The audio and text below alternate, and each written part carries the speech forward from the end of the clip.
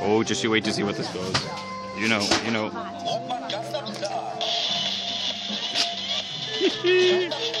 you, just know I had to put this on the blog.